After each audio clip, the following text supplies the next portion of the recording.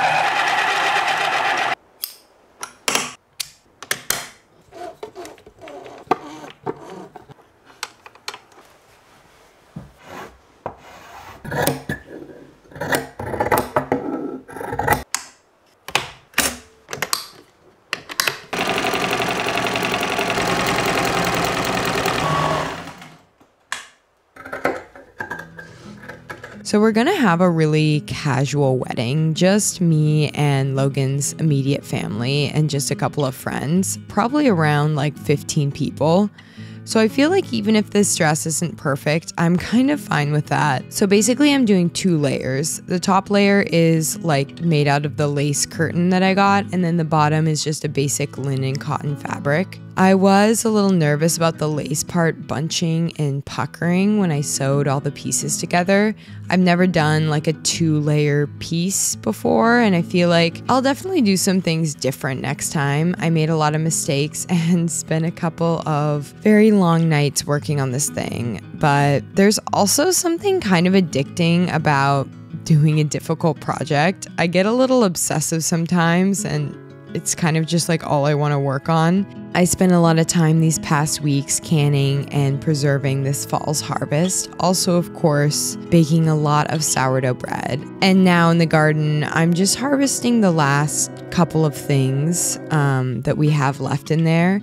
I think there'll probably be a hard freeze at night this week. So, I'm gonna pick all of my green tomatoes and then I'll just let them finish ripening in the house yeah, I've just kind of been frantically trying to get everything out of the garden because once that freeze happens, everything is kind of just done. Also, my raspberry harvest has been so abundant this year. Every other day almost, I come home with this like huge bowl of fresh raspberries. I found this old recipe in one of my cookbooks from the 1800s that is basically just like cooked down berries and then the crust is made from pecans and nut flour.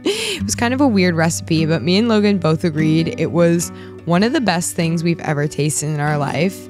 Okay, I know you guys are all rolling your eyes at me because I say that a lot, but it really was like so insane. I'll leave the recipe in the description of this video. Also, we had a birthday celebration and I made this fig cake with some local figs. In the cake, I added almost a cup of hot espresso, which made the flavor so rich. If you guys want to make a really complex flavored cake, I would highly recommend adding coffee to the batter.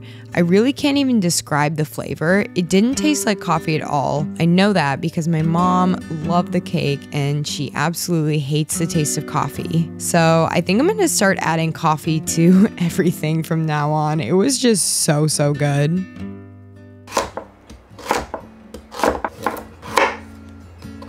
There was a point in the last couple of years when I stopped trusting myself, I feel like. I think maybe it happened after I made some decisions that felt right in the moment, but ultimately were kind of a huge mistake. And then after that, I've just felt a little lost. Like, since I don't trust my intuition anymore, I have a really hard time making decisions. I don't know if anyone else struggles with that, but the other day I was laying in the river and it dawned on me what's even worse than making a mistake is just not doing anything at all. I don't even know what I've been so scared of, to be honest. I guess scared of failure, but I realized I would so much rather try something new and fail and make a mistake than just be paralyzed by my own fear.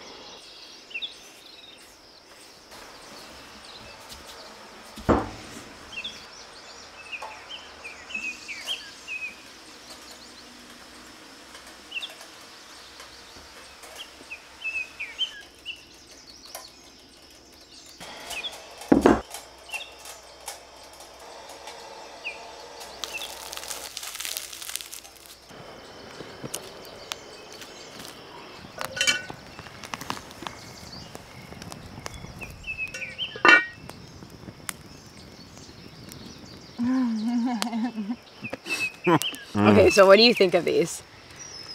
Incredible. I'm gonna spoil my dinner. So are you. Oh my gosh. You ate that thing in two bites. Mmm. You guys, it's been so cozy and just like, I don't know, something about the weather lately has been really doing something for me.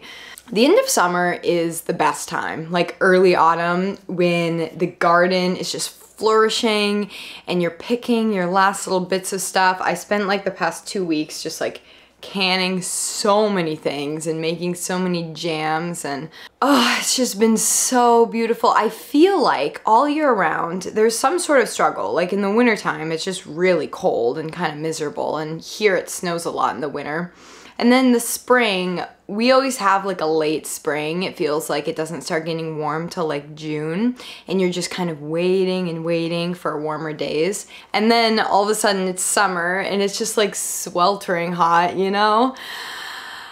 But then you get this like perfect moment in fall when it cools down a little bit and the air becomes crisp and like everything is perfect. I don't know. This is the time of year when I feel like it's just amazing. Every